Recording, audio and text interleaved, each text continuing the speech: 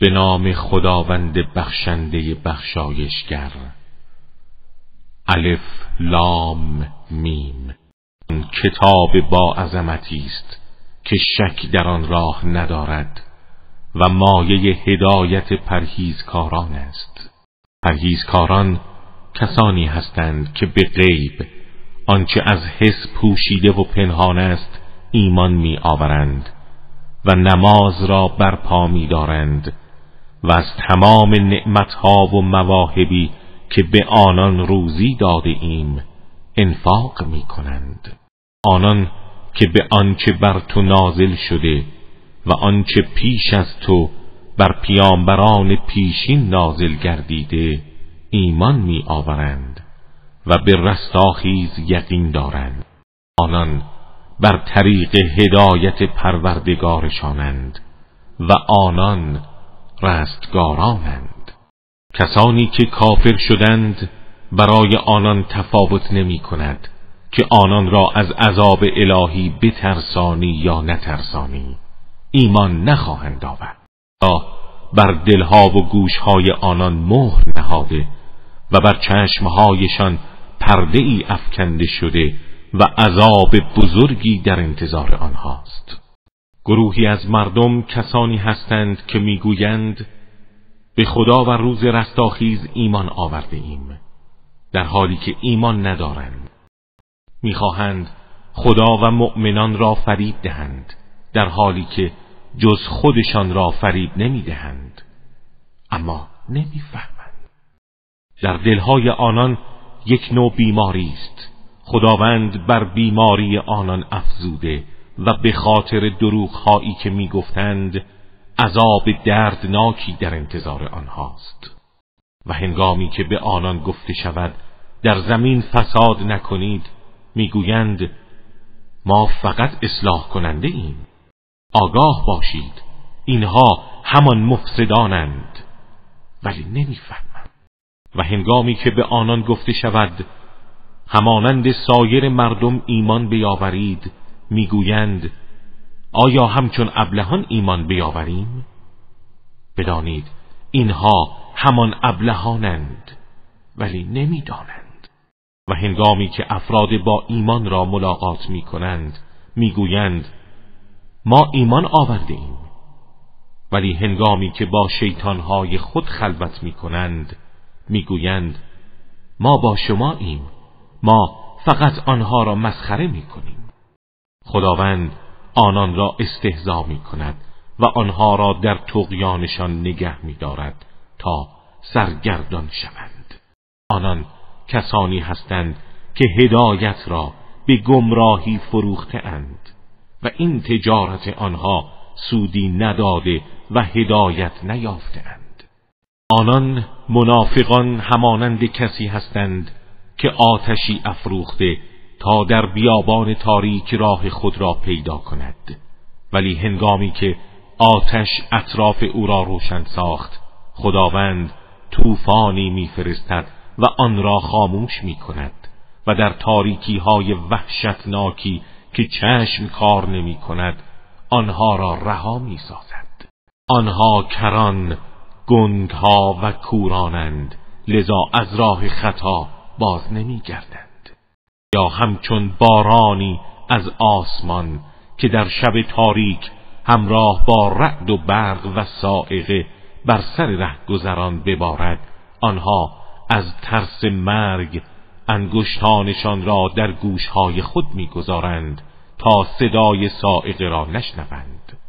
و خداوند به کافران احاطه دارد و در قبضه قدرت او هستند. روشنایی خیره کننده برق نزدیک است چشمانشان را برو باید هر زمان که برق جستن می کند و صفحه بیابان را برای آنها روشن می سازد چند گامی در پرتو آن راه می روند و چون خاموش می شود توقف می کنند و اگر خدا بخواهد گوش و چشم آنها را از بین می برد چرا که خداوند بر هر چیز تواناست. ای مردم پروردگار خود را پرستش کنید. آن کس که شما و کسانی را که پیش از شما بودند آفرید تا پرهیزگار شوید. آن کس که زمین را بستر شما و آسمان را همچون سقفی بالای سر شما قرار داد و از آسمان آبی فرو فرستاد و به وسیله آن میوه ها را پرورش داد تا روزی شما باشد. بنابراین برای خدا همتایانی قرار ندهید. در حالی که می‌دانید هیچ یک از آنها نه شما را آفریده اند و نه شما را روزی می‌دهند. اگر درباره آنچه بر بنده خود پیام بر نازل کرده ایم شک و تردید دارید دست کم یک سوره همانند آن بیاورید. و گواهان خود را غیر خدا برای این کار فرا خوانید اگر راست می‌گویید. پس اگر چنین نکنید که هرگز نخواهید کرد از آتشی بترسید که هیزم آن بدنهای مردم گنهکار و سنگ هاست و برای کافران آماده شده است.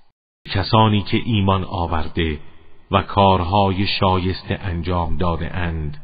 بشارت ده که باغهایی از بهشت برای آنهاست که نهرها از زیر درختانش جاری است. هر زمان که میوه از آن به آنان داده شود می‌گویند این همان است که قبلا به ما روزی داده شده بود. و میوه هایی که برای آنها آورده می شود همه یکسانند. و برای آنان همسرانی پاک و پاکیزه است و جاودانه در آن خواهند بود. خداوند از اینکه به موجودات ظاهرا کوچکی مانند پشه و حتی کمتر از آن مثال بزند شرم نمی کند. در این میان آنان که ایمان آورده اند می‌دانند که آن حقیقتی است از طرف پروردگارشان. و اما آنها که راه کفر را پیموده اند می‌گویند منظور خداوند از این مثل چه بوده است؟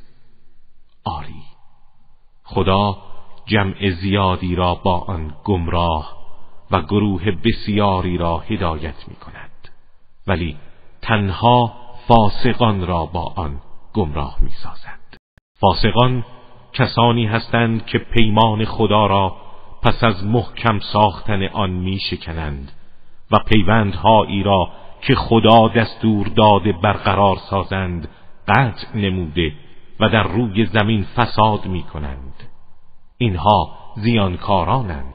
چگونه به خداوند کافر می شوید در حالی که شما مردگان و اجسام بیروحی بودید و او شما را زنده کرد. سپس شما را می میراند و بار دیگر شما را زنده می کند.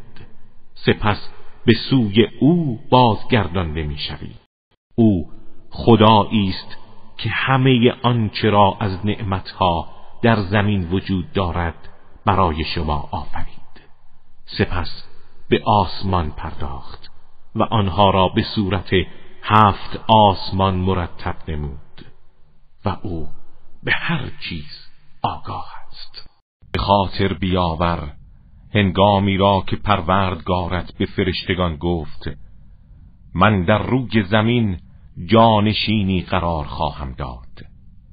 فرشتگان گفتند پروردگارا آیا کسی را در آن قرار می دهی که فساد و خونریزی کند؟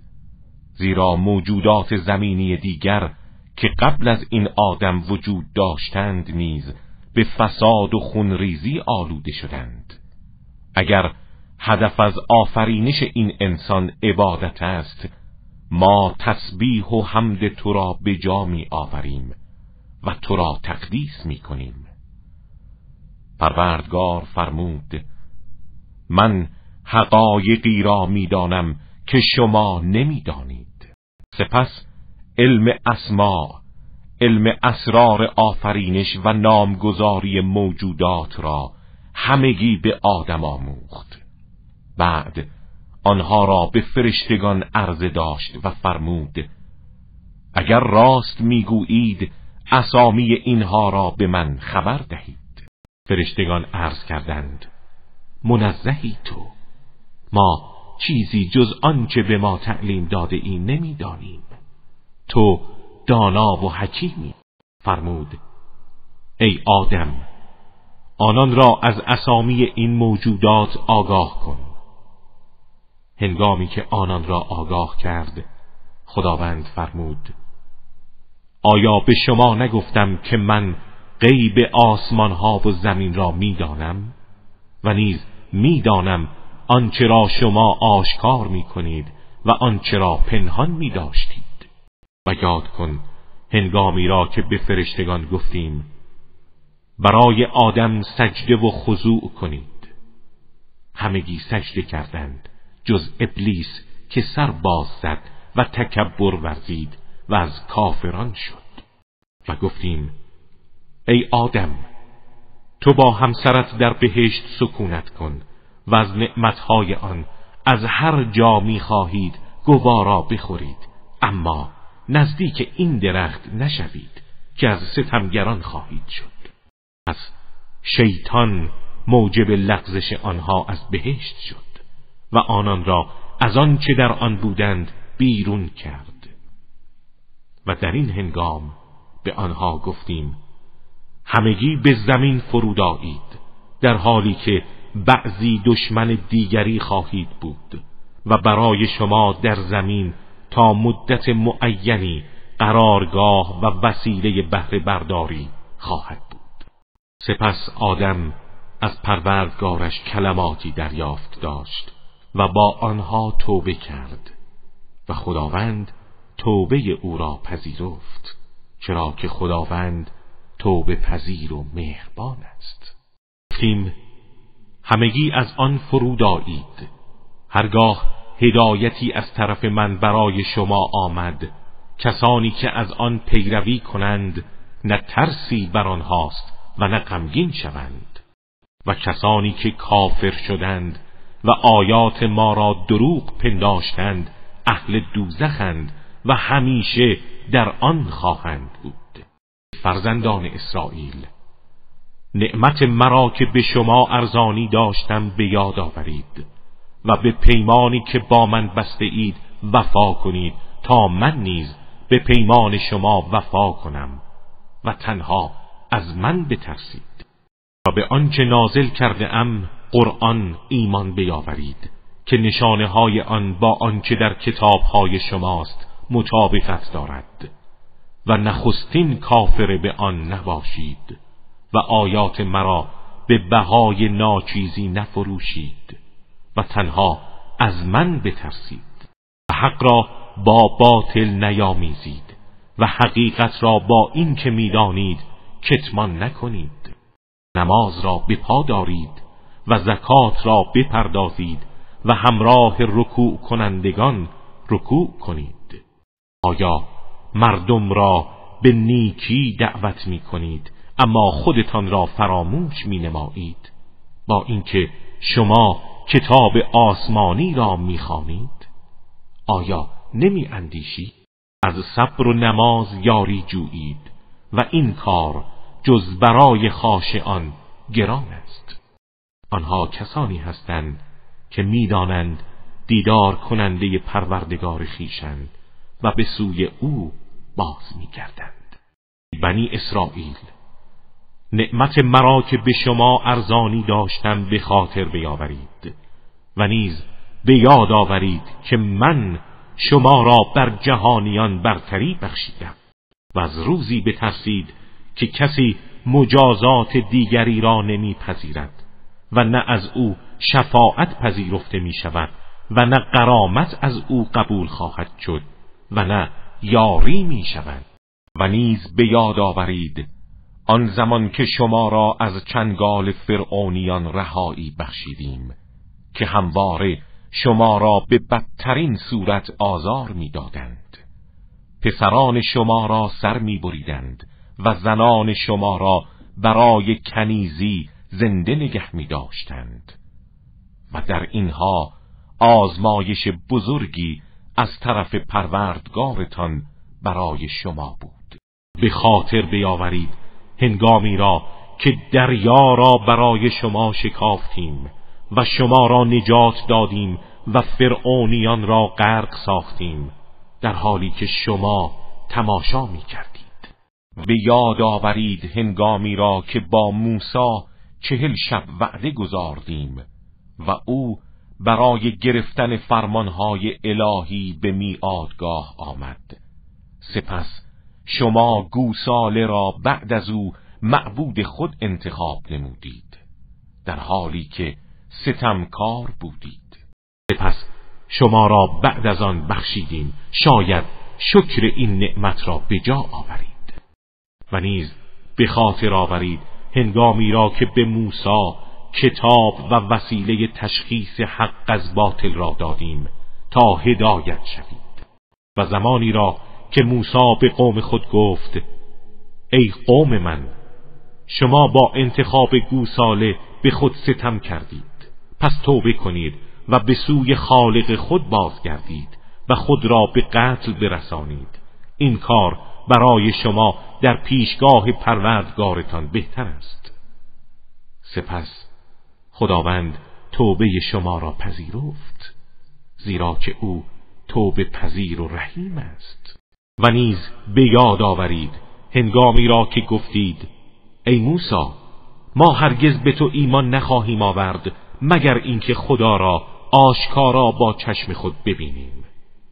پس سائق شما را گرفت در حالی که تماشا می کردید. سپس شما را پس از مرگتان حیات بخشیدیم. شاید شکر نعمت او را بجا و ابر را بر شما سایبان قرار دادیم و من شیره مخصوص و لذیذ درختان و سلوا مرغان مخصوص شبیه کبوتر را بر شما فرستادیم و گفتیم از نعمتهای پاکیزه ای که به شما روزی داده ایم بخورید. ولی شما کفران کردید. آنها به ما ستم نکردند بلکه به خود ستم می نمودند و به خاطر بیاورید زمانی را که گفتیم در این شهر بیت المقدس وارد شوید و از نعمتهای فراوان آن از هر جا می خواهید بخورید و از در معبد بیت المقدس با خضوع و خشوع وارد گردید و بگویید خداوندا گناهان ما را بریز تا خطاهای شما را ببخشیم و به نیکوکاران پاداش بیشتری خواهیم داد. اما افراد ستمگر این سخن را که به آنها گفته شده بود تغییر دادند. لذا بر ستمگران در برابر این نافرمانی عذابی از آسمان فرستادیم. و به یاد آورید زمانی را که موسی برای قوم خیش آب طلبید. به او دستور دادیم عصای خود را بر آن سنگ مخصوص بزن. ناگاه دوازده چشمه آب از آن جوشید. آنگونه که هر یک از توایف دوازدهگانه بنی اسرائیل چشمه مخصوص خود را می شناختند و گفتیم از روزی های الهی بخورید و بیاشامید و در زمین فساد نکنید و نیز به خاطر بیاورید.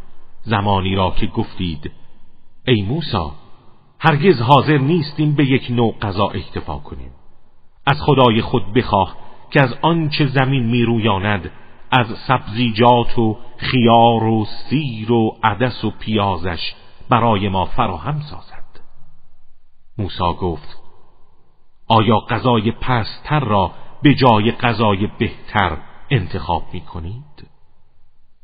در شهری فرود آیید زیرا هرچه خواستید در آنجا برای شما هست. و مهر ذلت و نیاز بر پیشانی آنها زده شد و باز گرفتار خشم خدایی شدند. چرا که آنان نسبت به آیات الهی کفر میورزیدند و پیامبران را به ناحق می کشتند اینها به خاطر آن بود که گناهکار و متجاوز بودند. کسانی که به پیامبر اسلام ایمان آورده اند و کسانی که به آین یهود گرویدند و نصارا و سابعان پیروان یحیی هرگاه به خدا و روز رستاخیز ایمان آورند و عمل صالح انجام دهند پاداششان نزد پروردگارشان مسلم است. و هیچ گونه ترس و اندوهی برای آنها نیست. و به یاد آورید زمانی را که از شما پیمان گرفتیم و کوه تور را بالای سر شما قرار دادیم و به شما گفتیم آنچه را از آیات و دستورهای خداوند به شما داده ایم با قدرت بگیرید و آنچه را در آن است به یاد داشته باشید و به آن عمل کنید. شاید پرهیزگار شوید. سپس شما پس از این روی گردان شدید و اگر فضل و رحمت خداوند بر شما نبود از زیانکاران بودید. طور قطع از حال کسانی از شما که در روز شنبه نافرمانی و گناه کردند آگاه شده اید ما به آنها گفتیم به صورت بوزینه هایی ترد شده درایید ما این کیفر را درس عبرتی برای مردم آن زمان و نسلهای بعد از آنان و پند و اندرزی برای پرهیزگاران قرار دادیم. و به یاد آورید هنگامی را که موسی به قوم خود گفت خداوند به شما دستور می‌دهد مادگاوی را ذبح کنید و قطعه از بدن آن را به مقتولی که قاتل او شناخته نشده بزنید تا زنده شود و قاتل خیش را معرفی کند و قوقا خاموش گردد. گفتند آیا ما را مسخره می کنی؟ موسا گفت به خدا پناه می‌برم از این که از جاهلان باشم. گفتند پس از خدای خود بخواه که برای ما روشن کند این ماده گاو چگونه ماده گاوی باشد. گفت خداوند میفرماید گاوی است که نه پیر و از کار افتاده باشد و نه بکر و جوان بلکه میان این دو باشد. آنچه به شما دستور داده شده هرچه زودتر انجام دهید. گفتند از پروردگار خود بخواه که برای ما روشن سازد رنگ آن چگونه باشد. گفت خداوند می‌گوید گاوی باشد زرد یک دست که بینندگان را شاد و مسرور سازد. گفتند از خدایت بخواه برای ما روشن کند که چگونه گاوی باید باشد. زیرا این گاو برای ما مبهم شده و اگر خدا بخواهد ما هدایت خواهیم شد. گفت خداوند میفرماید گاوی باشد که نه برای شخم زدن رام شده و نه برای زراعت آب کشی کند. از هر عیبی برکنار باشد و حتی هیچ گونه رنگ دیگری در آن نباشد. گفتند الان حق مطلب را آوردی. سپس چنان گاوی را پیدا کردند و آن را سر بریدند ولی مایل نبودند این کار را انجام دهند. و به یاد آورید هنگامی را که فردی را به قتل رساندید سپس درباره قاتل او به نزاع پرداختید و خداوند آنچه را مخفی می داشتید آشکار می سازد پس فرمودیم پاره ای از آن گاو سربریده را به آن مقتول بزنید تا زنده شود. این گونه خدا مردگان را زنده می کند و آیات خود را به شما می نمایاند باشد که بیندیشید. سپس دلهای شما بعد از این واقعه سخت شد.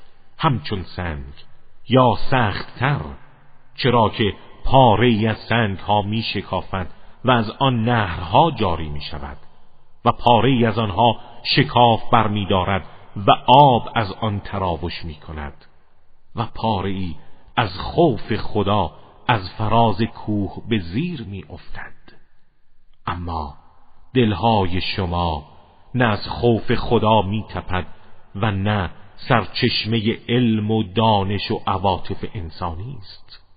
و خداوند از اعمال شما غافل نیست. آیا انتظار دارید به آین شما ایمان بیاورند؟ با اینکه عدهای از آنان سخنان خدا را میشنیدند و پس از فهمیدن آن را تحریف می‌کردند در حالی که علم و اطلاع داشتند. و هنگامی که مؤمنان را ملاقات کنند می‌گویند ایمان آورده ایم. ولی هنگامی که با یکدیگر خلوت می‌کنند می‌گویند چرا مطالبی را که خداوند درباره صفات پیامبر اسلام برای شما بیان کرد به مسلمانان بازگو می کنید تا روز رستاخیز در پیشگاه خدا بر ضد شما به آن استدلال کنند؟ آیا نمی‌فهمید؟ آیا اینها نمی‌دانند خداوند آنچه را پنهان میدارند یا آشکار می‌کنند می‌داند. پاره از آنان عوامانی هستند که کتاب خدا را جز یک مشت خیالات و آرزوها نمی‌دانند و تنها به پندارهایشان دل بستند پس وای بر آنها که نوشته ای با دست خود می نویسند سپس می گویند این از طرف خداست. تا آن را به بهای کمی بفروشند. پس وای بر آنها از آنچه با دست خود نوشتند و وای بر آنان از آنچه از این راه به دست می آورند. و گفتند هرگز آتش دوزخ جز چند روزی به ما نخواهد رسید. بگو آیا پیمانی از خدا گرفته اید؟ و خداوند هرگز از پیمانش تخلف نمی برزد یا چیزی را که نمی‌دانید به خدا نسبت می دهید؟ آری. کسانی که مرتکب گناه شوند و آثار گناه سراسر وجودشان را بپوشاند آنها اهل آتشند و جاودانه در آن خواهند. و آنها که ایمان آورده و کارهای شایسته انجام داده اند آنان اهل بهشتند و همیشه در آن خواهند ماند. و به یاد آورید زمانی را که از بنی اسرائیل پیمان گرفتیم که جز خداوند یگانه را پرستش نکنید و به پدر و مادر و نزدیکان و یتیمان و بینوایان نیکی کنید و به مردم نیک بگویید و نماز را برپا دارید و زکات بدهید. سپس با اینکه پیمان بسته بودید همه شما جز عده کمی سرپیچی کردید و از وفای به پیمان خود روی گردان شد و هنگامی را که از شما پیمان گرفتیم که خون هم را نریزید و یکدیگر را از سرزمین خود بیرون نکنید. سپس شما اقرار کردید و بر این پیمان گواه بودید ما این شما هستید که یکدیگر را می‌کشید و جمعی از خودتان را از سرزمینشان بیرون می‌کنید و در این گناه و تجاوز به یکدیگر کمک می نمایید در حالی که اگر بعضی از آنها به صورت اسیران نزد شما آیند فدیه می دهید و آنان را آزاد می سازید با اینکه بیرون ساختن آنان بر شما حرام بود. آیا به بعضی از دستورات کتاب آسمانی ایمان می آورید و به بعضی کافر می شوید؟ برای کسی از شما که این عمل تبعیض در میان احکام و قوانین الهی را انجام دهد جز رسوایی در این جهان چیزی نخواهد بود و روز رستاخیز به شدید ترین عذابها گرفتار می شوند. و خداوند از آنچه انجام می دهید غافل نیست. اینها همان کسانند که آخرت را به زندگی دنیا فروختند از این رو عذاب آنها تخفیف داده نمی شود و کسی آنها را یاری نخواهد کرد. ما به موسی کتاب تورات دادیم و بعد از او پیامبرانی پشت سر هم فرستادیم و به عیسی ابن مریم دلایل روشن دادیم و او را به وسیله روح القدس تأیید کردیم. آیا چنین نیست که هر زمان پیامبری چیزی بر خلاف هوای نفس شما آورد در برابر او تکبر کردید؟ پس ادعی را تکذیب کرده و جمعی را به قتل رساندید و آنها از روی استهزا گفتند دلهای ما در قلاف است. خداوند آنها را به خاطر کفرشان از رحمت خود دور ساخته و کمتر ایمان می آورند. هنگامی که از طرف خداوند کتابی برای آنها آمد که موافق نشانه هایی بود که با خود داشتند و پیش از این به خود نوید پیروزی بر کافران می‌دادند. با این همه هنگامی که این کتاب و پیامبری را که از قبل شناخته بودند نزد آنها آمد به او کافر شدند. لعنت خدا بر کافران باد.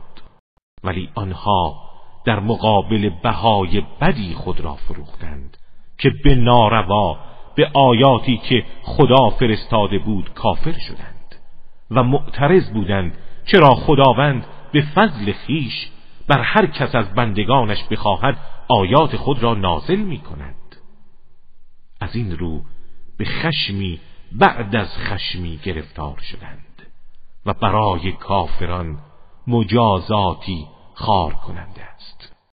و هنگامی که به آنها گفته شود به آنچه خداوند نازل فرموده ایمان بیاورید می‌گویند ما به چیزی ایمان میآوریم که بر خود ما نازل شده و به غیر آن کافر می‌شوند در حالی که حق است و آیاتی را که بر آنها نازل شده تصدیق می کند بگو اگر راست می‌گویید و به آیاتی که بر خودتان نازل شده ایمان دارید پس چرا پیامبران خدا را پیش از این به قتل میرساندید؟ و نیز موسی آن همه معجزات را برای شما آورد. و شما پس از غیبت او گوساله را انتخاب کردید در حالی که ستمگر بودید. و به یاد آورید زمانی را که از شما پیمان گرفتیم و کوه تور را بالای سر شما برافراشتیم و گفتیم این دستوراتی را که به شما داده ایم محکم بگیرید و درست بشنوید. آنها گفتند شنیدیم. ولی مخالفت کردیم. و دلهای آنها بر اثر کفشان با محبت گوساله آمیخته شد. بگو ایمان شما چه فرمان بدی به شما می‌دهد اگر ایمان دارید؟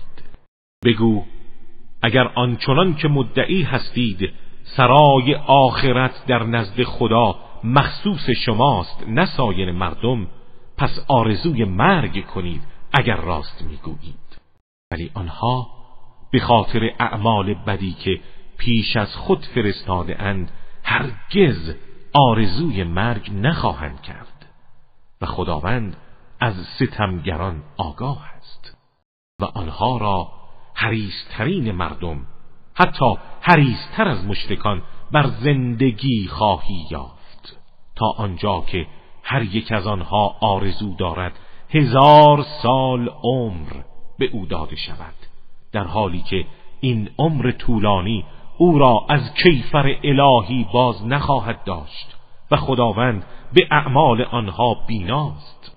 آنها می‌گویند چون فرشته‌ای که وحی را بر تو نازل می کند جبرئیل است و ما با جبرئیل دشمن هستیم به تو ایمان نمی آوریم بگو کسی که دشمن جبرئیل باشد در حقیقت دشمن خداست چرا که او به فرمان خدا قرآن را بر قلب تو نازل کرده است در حالی که کتب آسمانی پیشین را تصدیق می کند و هدایت و بشارت است برای مؤمنان.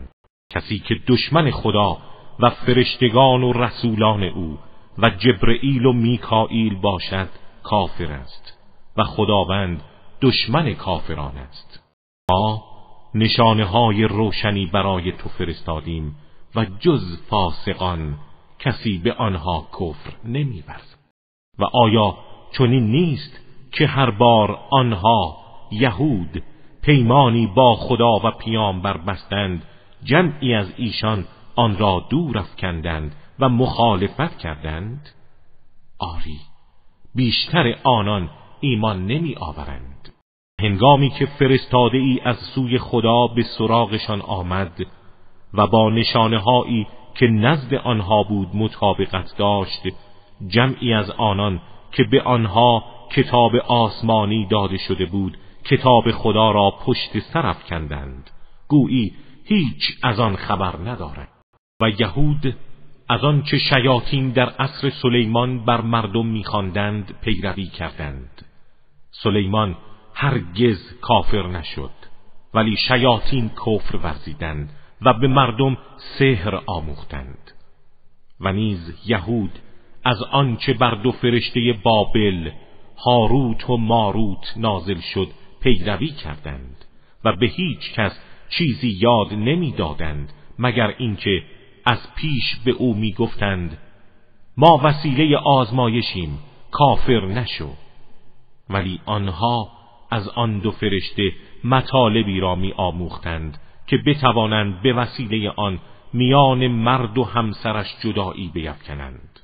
ولی هیچگاه نمی توانند بدون اجازه خداوند به انسانی زیان برسانند. آنها قسمتهایی را فرا می گرفتند که به آنان زیان می رسانید و نفعی نمی‌داد و مسلما می دانستند هر کسی خریدار این گونه متاع باشد در آخرت بهره این نخواهد داشت. و چه زشت و ناپسند بود آنچه خود را به آن فروختند اگر می‌دانستند. و اگر آنها ایمان می آوردند و پرهیزگاری پیشه می کردند پاداشی که نزد خداست برای آنان بهتر بود اگر آگاهی داشتند. ای افراد با ایمان نگویید رائنا بلکه بگویید انظرنا. زیرا کلمه اول هم به معنی ما را مهلت بده و هم به معنی ما را تحمیق کن می باشد و دستاویزی برای دشمنان است. و آنچه به شما دستور داده می شود بشنوید و برای کافران و استهزا کنندگان عذاب دردناکی است. کافران اهل کتاب و همچنین مشرکان دوست ندارند که از سوی خداوند خیر و برکتی بر شما نازل گردد.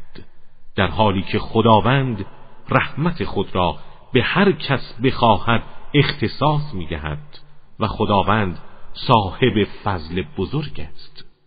هر حکمی را نسخ کنیم و یا نسخ آن را به تأخیر اندازیم بهتر از آن یا همانند آن را می آوریم آیا نمی‌دانستی که خداوند بر هر چیز تواناست؟ آیا نمی‌دانستی که حکومت آسمان ها و زمین از آن خداست و جز خدا ولی و یاوری برای شما نیست؟ آیا می‌خواهید از پیامبر خود همان تقاضای نامعقولی را بکنید که پیش از این از موسی کردند؟ کسی که کفر را به جای ایمان بپذیرد از راه مستقیم گمراه شده است. بسیاری از اهل کتاب از روی حسد که در وجود آنها ریشه دوانده آرزو می کردند شما را بعد از اسلام و ایمان به حال کفر بازگردانند. با اینکه حق برای آنها کاملا روشن شده است. شما آنها را عفو کنید. و گذشت نمایید تا خداوند فرمان خودش را بفرستد. خداوند بر هر چیزی تواناست و نماز را برپا دارید و زکات را ادا کنید و هر کار خیری را برای خود از پیش میفرستید آن را نزد خدا خواهید یافت. خداوند به اعمال شما بیناست. آنها گفتند هیچ کس جز یهود یا نصارا هرگز داخل بهشت نخواهد شد. این آرزوی آنهاست. بگو اگر راست می‌گویید دلیل خود را بیاورید. آری کسی که روی خود را تسلیم خدا کند و نیکوکار باشد پاداش او نزد پروردگارش ثابت است. نه ترسی بر آنهاست و نه غمگین می‌شوند. یهودیان گفتند مسیحیان هیچ موقعیتی نزد خدا ندارند. و مسیحیان نیز گفتند یهودیان هیچ موقعیتی ندارند. در حالی که هر دو دسته کتاب آسمانی را می‌خوانند. افراد نادان دیگر همچون مشرکان نیز سخنی همانند سخن آنها داشتند. خداوند روز قیامت درباره آنچه در آن اختلاف داشتند داوری می کند کیست ستمکارتر از آن کس که از بردن نام خدا در مساجد او جلوگیری کرده و سعی در ویرانی آنها نمود؟ شایسته نیست آنان جز با ترس و وحشت وارد این کانونهای عبادت شوند. بهره آنها در دنیا فقط رسوایی است و در آخرت عذاب عظیم الهی. مشرق و مغرب از آن خداست و به هر سو رو کنید خدا آنجاست. خداوند بی نیاز و داناست. و یهود و نصارا و مشرکان گفتند خداوند فرزندی برای خود انتخاب کرده است. منزه است او بلکه آنچه در آسمان ها و زمین است از آن اوست و همه در برابر او خاضعند. هستی بخش آسمان ها و زمین است و هنگامی که فرمان وجود چیزی را صادر کند تنها می‌گوید موجود باش و آن فوری موجود می شود افراد ناآگاه گفتند چرا خدا با ما سخن نمی‌گوید و یا چرا آیه و نشانه ای برای خود ما نمی آید پیشینیان آنها نیز همین گونه سخن می گفتند دلها و افکارشان مشابه یکدیگر است. ولی ما به اندازه کافی آیات و نشانه ها را برای اهل یقین روشن ساخته ایم.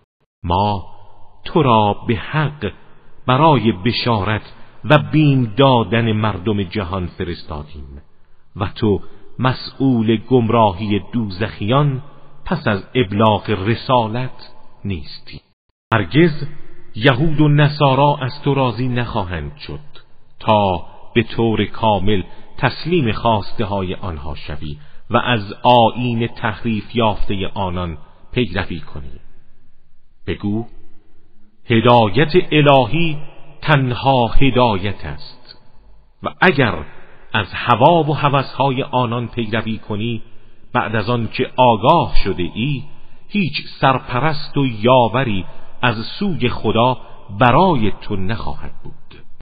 کسانی که کتاب آسمانی به آنها داده ایم آن را چنان که شایسته آن است می‌خوانند. آنها به پیامبر اسلام ایمان می آورند و کسانی که به او کافر شوند زیانکارند. ای بنی اسرائیل نعمت مرا که به شما ارزانی داشتم به یاد آورید. و نیز به خاطر آورید که من شما را بر جهانیان برتری بخشیدم. از روزی بترسید که هیچ کس از دیگری دفاع نمی کند و هیچ گونه عوضی از او قبول نمی شود و شفاعت او را سود نمی دهد و از هیچ سوی یاری نمی شوند. به خاطر آورید هنگامی که خداوند ابراهیم را با وسایل گوناگونی آزمود و او به خوبی از عهده این آزمایش ها برآمد. خداوند به او فرمود من تو را امام و پیشوای مردم قرار دادم. ابراهیم عرض کرد از دودمان من نیز امامانی قرار بده. خداوند فرمود پیمان من به ستمکاران نمی‌رسد. و تنها آن دسته از فرزندان تو که پاک و معصوم باشند شایسته این مقامند.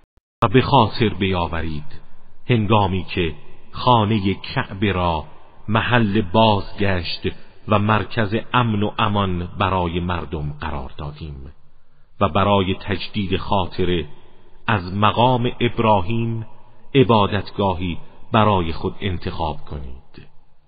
و ما به ابراهیم و اسماعیل امر کردیم که خانه مرا برای تواف کنندگان و مجاوران و رکوع کنندگان و سجده کنندگان پاک و پاکیزه کنید.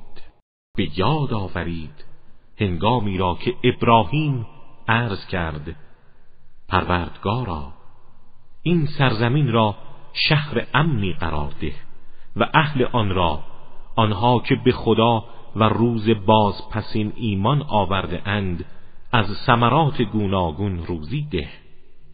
گفت دعای تو را اجابت کردم و مؤمنان را از انواع برکات بهرهمند ساختم. اما به آنها که کافر شدند بهره کمی خواهم داد. سپس آنها را به عذاب آتش میکشانم. و چه بد سرانجامی است. و نیز به یاد آورید هنگامی را که ابراهیم و اسماعیل پایه های خانه کعبه را بالا می بردند و می گفتند پروردگارا از ما بپذیر که تو شنوا و دانا. پروردگارا ما را تسلیم فرمان خود قرار ده و از دودمان ما امتی که تسلیم فرمانت باشند به وجود آور و طرز عبادتمان را به ما نشان ده و توبه ما را بپذیر که تو توبه پذیر و مهربانی. پروردگارا در میان آنها پیامبری از خودشان برانگیز تا آیات تو را بر آنان بخواند و آنها را کتاب و حکمت بیاموزد و پاکیزه کند. زیرا تو توانا و حکیمی و بر این کار قادری. جز افراد صفیح و نادان چه کسی از آین ابراهیم با آن پاکی و درخشندگی روی گردان خواهد شد؟ ما او را در این جهان برگزیدیم و او در جهان دیگر از صالحان است. در آن هنگام که پروردگارش به او گفت اسلام بیاور و در برابر حق تسلیم باش او فرمان پروردگار را از جان و دل پذیرفت و گفت در برابر پروردگار جهانیان تسلیم شدم. و ابراهیم و یعقوب در واپسین لحظات عمر فرزندان خود را به این آین وصیت کردند. فرزندان من خداوند این آین پاک را برای شما برگزیده است و شما جز به آین اسلام از دنیا نرم آیا هنگامی که مرگ یعقوب فرا رسید شما حاضر بودید؟ در آن هنگام که به فرزندان خود گفت پس از من چه چیز را می پرستید گفتند خدای تو و خدای پدرانت ابراهیم و اسماعیل و اسحاق. خداوند یکتا را و ما در برابر او تسلیم هستیم. آنها امتی بودند که درگذشتند. اعمال آنان مربوط به خودشان بود و اعمال شما نیز مربوط به خود شماست. و شما هیچگاه مسئول اعمال آنها نخواهید به کتاب گفتند یهودی یا مسیحی شوید تا هدایت یابید. بگو این آینهای تحریف شده هرگز نمی‌تواند موجب هدایت گردد بلکه از آین خالص ابراهیم پیروی کنید و او هرگز از مشرکان نبود. گویید ما به خدا ایمان آورده ایم و به آنچه بر ما نازل شده و آنچه بر ابراهیم و اسماعیل و اسحاق و یعقوب و پیامبران از فرزندان او نازل گردید و همچنین آنچه به موسی و عیسی و پیامبران دیگر از طرف پروردگارشان داده شده است و در میان هیچ یک از آنها جدایی قائل نمی‌شویم و در برابر فرمان خدا تسلیم هستیم. اگر آنها نیز به مانند آنچه شما ایمان آورده اید ایمان بیاورند هدایت یافتند و اگر سرپیچی کنند از حق جدا شده اند و خداوند شر آنها را از تو دفع می کند و او شنونده و داناست. رنگ خدایی بپذیرید. رنگ ایمان و توحید و اسلام. و چه رنگی از رنگ خدایی بهتر است؟ و ما تنها او را عبادت بگو. آیا درباره خداوند با ما مهاجه می کنید در حالی که او پروردگار ما و شماست و اعمال ما از آن ما و اعمال شما از آن شماست و ما او را با اخلاص پرستش می می‌گویید ابراهیم و اسماعیل و اسحاق و یعقوب و اسبات یهودی یا نصرانی بودند؟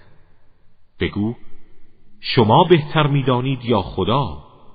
و چه کسی ستمکارتر است از آن کس که گواهی و شهادت الهی را که نزد اوست کتمان می کند و خدا از اعمال شما غافل نیست.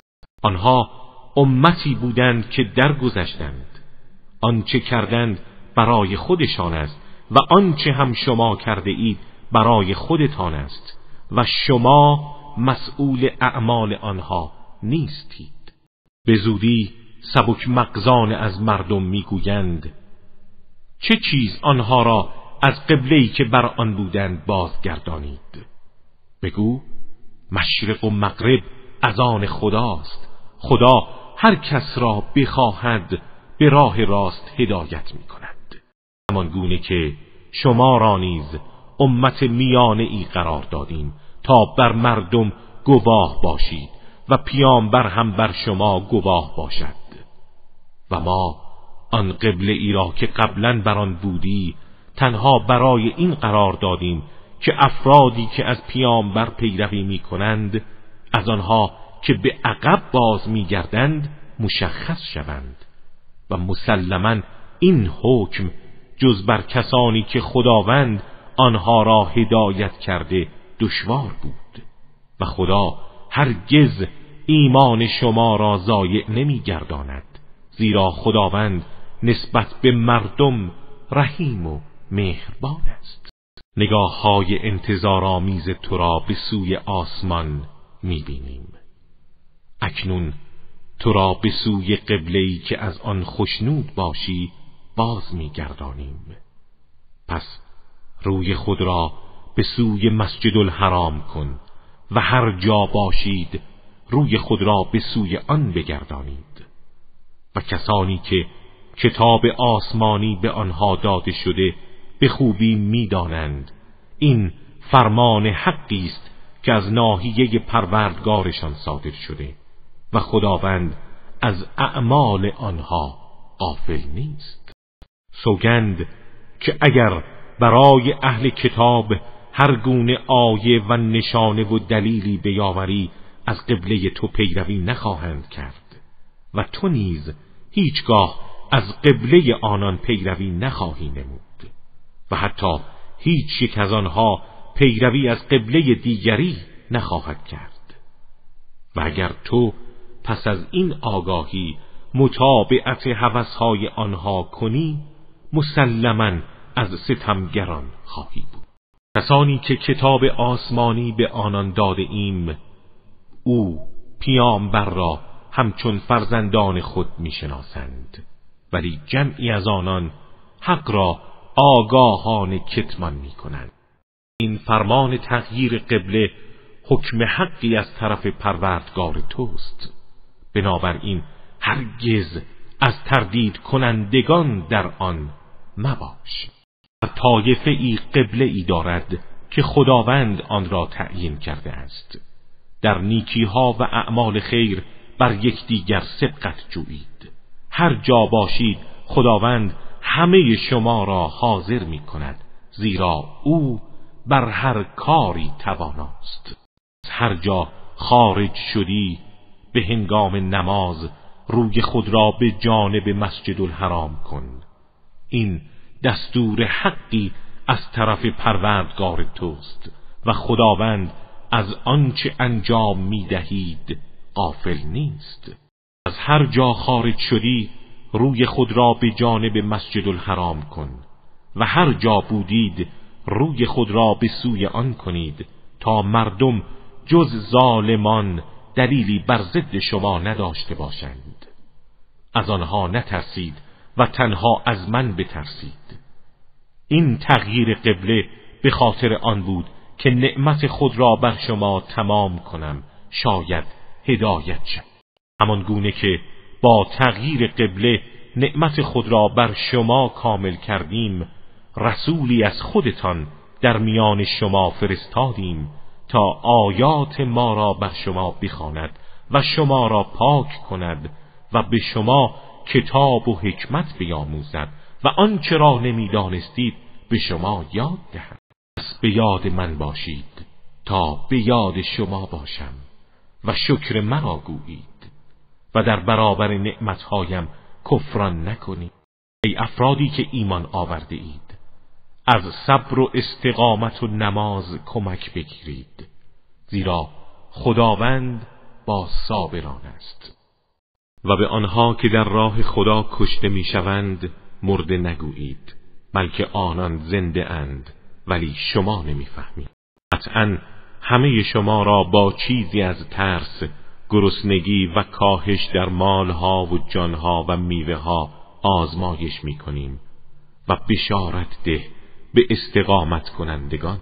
ها که هرگاه مصیبتی به ایشان می‌رسد می‌گویند ما از آن خداییم و به سوی او باز میگردیم اینها همانها هستند که الطاف و رحمت خدا شامل حالشان شده و آنها هستند هدایت یافتگان.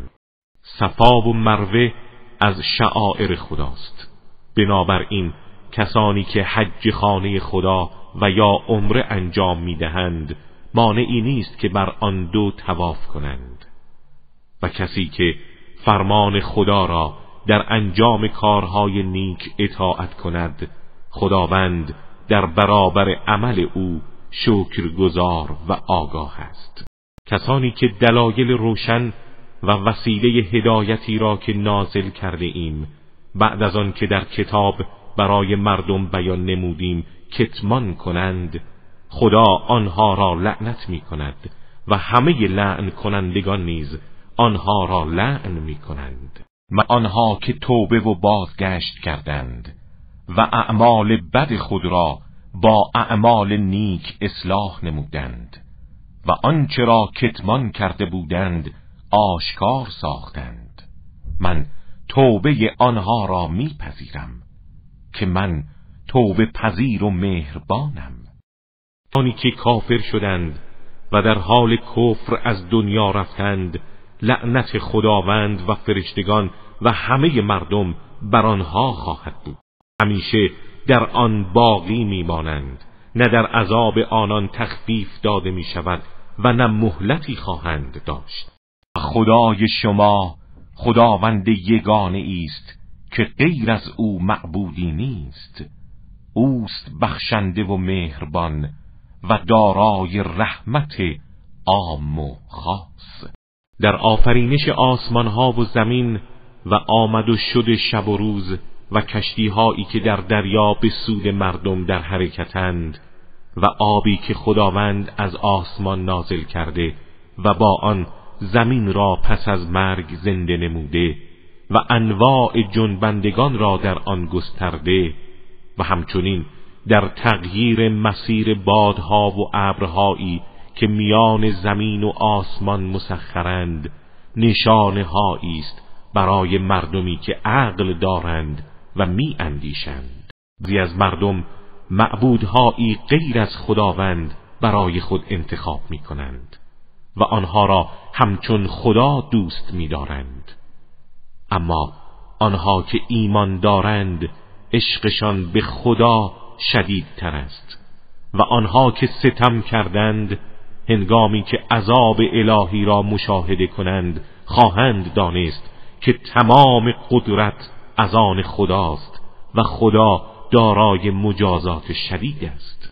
به هنگام رهبران گمراه و گمراه کننده از پیروان خود بیزاری می جوگند و کیفر خدا را مشاهده می کنند و دستشان از همه جا کوتاه می شود در این هنگام پیروان می‌گویند کاش بار دیگر به دنیا برمیگشتیم تا از آنها پیشوایان گمراه بیزاری جوییم آنچنان که آنان امروز از ما بیزاری جستند. آری خداوند این چنین اعمال آنها را به صورت حسرت زایی به آنان نشان می‌دهد و هرگز از آتش دوزخ خارج نخواهند شد. ای مردم از آنچه در زمین است حلال و پاکیزه بخورید و از گامهای شیطان پیروی نکنید چه اینکه او دشمن آشکار شماست. او شما را فقط به بدیها و کار زشت فرمان می‌دهد و نیز دستور می‌دهد آنچه را که نمی‌دانید به خدا نسبت دهید. و هنگامی که به آنها گفته شود از آنچه خدا نازل کرده است پیروی کنید می‌گویند نه ما از آنچه پدران خود را بر آن یافتیم پیروی مینماییم. آیا اگر پدران آنها چیزی نمیفهمیدند و هدایت نیافتند باز از آنها پیروی خواهند کرد؟ مثل تو در دعوت کافران بسان کسی است که گوسفندان و حیوانات را برای نجات از چنگال خطر صدا می‌زند. ولی آنها چیزی جز سر و صدا نمیشنوند و حقیقت و مفهوم گفتار او را درک نمی کنند این کافران در واقع کر و لال و نابینا هستند. از این رو چیزی نمی‌فهمند. ای کسانی که ایمان آورده اید از نعمتهای پاکیزه ای که به شما روزی داده ایم بخورید و شکر خدا را به جا آورید اگر او را پرستش می کنید خداوند تنها گوشت مردار خون گوشت خوک و آنچه را نام غیر خدا به هنگام ذبح بر آن گفته شود حرام کرده است. ولی آن کس که مجبور شود در صورتی که ستمگر و متجاوز نباشد گناهی بر او نیست. خداوند آمرزنده و مهربان است. کسانی که کتمان می کنند آنچه را خدا از کتاب نازل کرده و آن را به بهای کمی می فروشند آنها جز آتش چیزی نمی خورند و خداوند روز قیامت با آنها سخن نمی گوید و آنان را پاکیزه نمی کند و برای آنها عذاب دردناکی است اینان همانهایی هستند که گمراهی را با هدایت و عذاب را با آمرزش مبادله کرده اند راستی چقدر در برابر عذاب خداوند شکیبا هستند. اینها به خاطر آن است که خداوند کتاب آسمانی را به حق نازل کرده و آنها که در آن اختلاف می کنند در شکاف عمیقی قرار دارند. نیکی تنها این نیست که به هنگام نماز روی خود را به سوی مشرق و یا مغرب کنید بلکه نیکی و نیکو کار کسی است که به خدا و روز رستاخیز و فرشتگان و کتاب آسمانی و پیامبران ایمان آورده و مال خود را با همه علاقه ای که به آن دارد به خیشاوندان و یتیمان و مسکینان و واماندگان در راه و سائلان و بردگان انفاق می کند نماز را برپا می دارد و زکات را می پردازد و همچنین کسانی که به عهد خود به هنگامی که عهد بستند وفا می کنند و در برابر محرومیت ها و بیماری ها و در میدان جنگ استقامت به خرج می دهند اینها کسانی هستند که راست می‌گویند و اینها هستند پرهیزگاران. افرادی که ایمان آورده اید. حکم قصاص در مورد کشتگان بر شما نوشته شده است. آزاد در برابر آزاد و برده در برابر برده و زن در برابر زن. پس اگر کسی از سوی برادر دینی خود چیزی به او بخشیده شود و حکم قصاص او تبدیل به خونبها گردد باید از راه پسندیده پیروی کند و صاحب خون حال پرداخت کننده دیه را در نظر بگیرد و او قاتل نیز به نیکی دیه را به ولی مقتول بپردازد و در آن مسامحه نکند. این تخفیف و رحمتی است از ناحیه پروردگار شما. و کسی که بعد از آن تجاوز کند عذاب دردناکی خواهد داشت. و برای شما در قصاص حیات و زندگی است. ای صاحبان خرد شاید شما تقوا پیشه کنید. شما نوشته شده هنگامی که یکی از شما را مرگ فرا رسد اگر چیز خوبی از خود به جای گذارده برای پدر و مادر و نزدیکان به طور شایسته وصیت کند. این حقی است بر پرهیزگاران. پس کسانی که بعد از شنیدنش آن را تغییر دهند گناه آن تنها بر کسانی است که آن وصیت را تغییر می‌دهند. خداوند شنوا و داناست و کسی که از انحراف وصیت کننده و تمایل یک جانبه او به بعض ورسه یا از گناه او که مبادا وصیت به کار خلافی کند بترسد و میان آنها را اصلاح دهد گناهی بر او نیست و مشمول حکم تبدیل وصیت نمی باشد. خداوند آمرزنده و مهربان است. افرادی که ایمان آورده اید. روزه بر شما نوشته شده همان گونه که بر کسانی که قبل از شما بودند نوشته شد تا پرهیزگار شوید. اند روز معدودی را باید روزه بدارید. و هر کس از شما بیمار یا مسافر باشد تعدادی از روزهای دیگر را روزه بدارد. و بر کسانی که روزه برای آنها طاقت فرساست همچون بیماران مزمن و پیرمردان و پیرزنان لازم است کفاره بدهند مسکینی را اطعام کنند و کسی که کار خیری انجام دهد برای او بهتر است و روزه داشتن برای شما بهتر است اگر بدانید. روزه در چند روز معدود ماه رمضان است. ماهی که قرآن برای راهنمایی مردم و نشانه های هدایت و فرق میان حق و باطل در آن نازل شده است. پس آن کس از شما که در ماه رمضان در حذر باشد روزه بدارد. و آن کس که بیمار یا در سفر است روزهای دیگری را به جای آن روزه بگیرد. خداوند راحتی شما را می‌خواهد نه زحمت شما را. هدف این است که این روزها را تکمیل کنید و خدا را بر اینکه شما را هدایت کرده بزرگ بشمرید. باشد که شکر گذاری کنید. هنگامی که بندگان من از تو درباره من سوال کنند بگو من نزدیکم. دعای دعا کننده را به هنگامی که مرا می‌خواند پاسخ می‌گویم. پس باید دعوت مرا بپذیرند و به من ایمان بیاورند تا راه یابند و به مقصد برسند.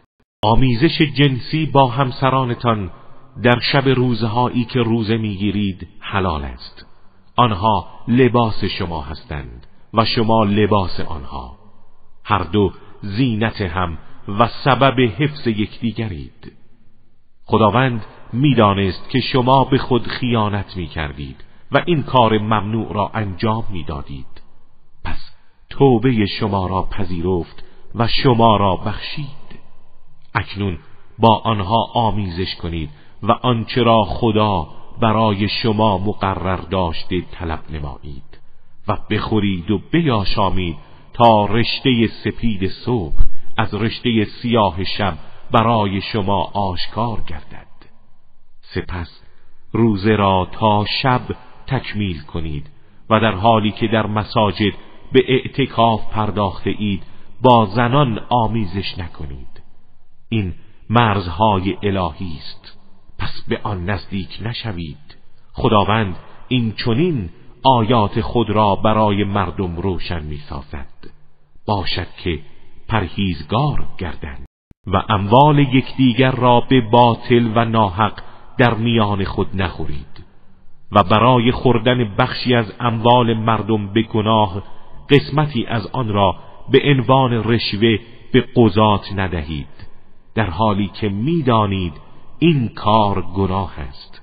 درباره های ماه از تو سؤال می کنند بگو آنها بیان اوقات و تقویم طبیعی برای نظام زندگی مردم و تعیین وقت حج است.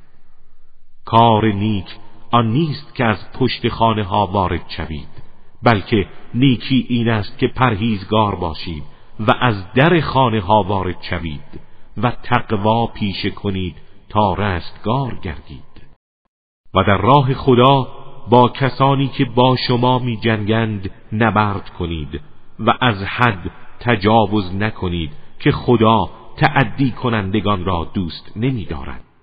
آنها را بود پرستانی که از هیچ گونه جنایتی عبا ندارند هر کجا یافتید به قتل برسانید. و از آنجا که شما را بیرون ساختند آنها را بیرون کنید. و فتنه و بود پرستی از کشتار هم بدتر است. و با آنها در نزد مسجد الحرام در منطقه حرم جنگ نکنید مگر اینکه در آنجا با شما بجنگند. پس اگر در آنجا با شما پیکار کردند آنها را به قتل برسانید. چنین است جزای کافران. اگر خودداری کردند خداوند آمرزنده و مهربان است. و با آنها پیکار کنید تا فتنه باقی نماند و دین مخصوص خدا گردد. پس اگر دست برداشتند مزاحم آنها نشوید زیرا تعدی جز بر ستمکاران روانی است. ماه حرام در برابر ماه حرام و تمام حرام ها قابل قصاص است و به طور کلی هر کس به شما تجاوز کرد همانند آن بر او تعدی کنید و از خدا بپرهیزید و زیاده روی ننمایید و بدانید خدا با پرهیزگاران است. و در راه خدا انفاق کنید و با ترک انفاق خود را به دست خود به هلاکت نیفکنید و نیکی کنید که خداوند نیکوکاران را دوست می‌دارد. و حج و عمره را برای خدا به اتمام برسانید. و اگر محصور شدید و مانعی مانند ترس از دشمن یا بیماری اجازه نداد که پس از احرام بستن وارد مکه شوید آنچه از قربانی فراهم شود ذبح کنید و از احرام خارج شوید و سرهای خود را نتراشید تا قربانی به محلش برسد و در قربانگاه ذبح شود. و اگر کسی از شما بیمار بود و یا ناراحتی در سر داشت و ناچار بود سر خود را بتراشد باید فدیه و کفاره ای از قبیل روزه یا صدقه یا گوسفندی بدهد. و هنگامی که از بیماری و دشمن در امان بودید هر کس با ختم عمر حج را آغاز کند. آنچه از قربانی برای او میسر است ذبح کند. و هر که نیافت سه روز در ایام حج و هفت روز هنگامی که باز میگردید روزه بدارد. این ده روز کامل است. البته این برای کسی است که خانواده او نزد مسجد الحرام نباشد و از خدا بپرهیزید و بدانید که او سخت کیفر است. در ماهای معینی است و کسانی که با بستن احرام و شروع به مناسک حج حج را بر خود فرض کرده اند باید بدانند که در حج آمیزش جنسی با زنان و گناه و جدال نیست. و آنچه از کارهای نیک انجام دهید خدا آن را می‌داند.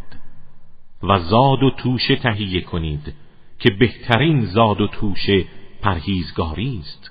و از من بپرهیزید ای خردمندان. راهی بر شما نیست که از فضل پروردگارتان و از منافع اقتصادی در ایام حج طلب کنید. و هنگامی که از عرفات کوچ کردید خدا را نزد مشعر الحرام یاد کنید. او را یاد کنید همانطور که شما را هدایت نمود. و قطعا شما پیش از این از گمراهان بودید.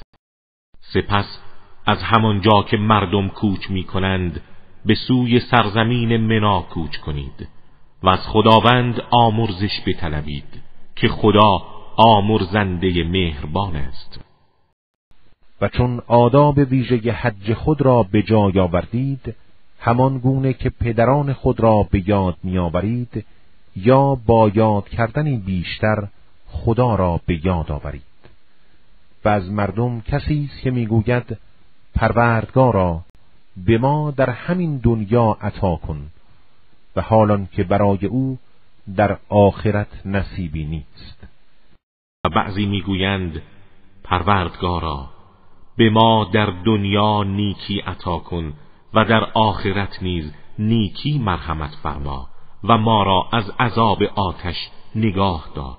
آنها از کار و دعای خود نصیب و بهره ای دارند و خداوند سریع الحساب است. خدا را در روزهای معینی یاد کنید.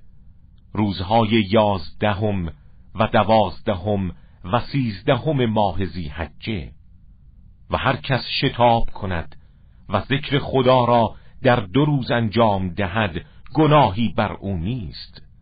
و هر که تأخیر کند و سه روز انجام دهد نیز گناهی بر او نیست. برای کسی که تقوا پیشه کند. و از خدا بپرهیزید و بدانید شما به سوی او محشور خواهید شد.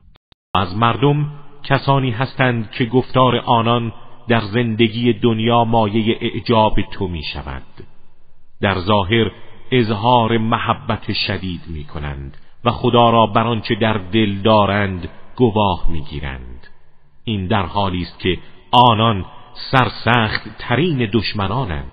شانه آن این است که هنگامی که روی برمیگردانند و از نزد تو خارج می‌شوند در راه فساد در زمین کوشش می‌کنند.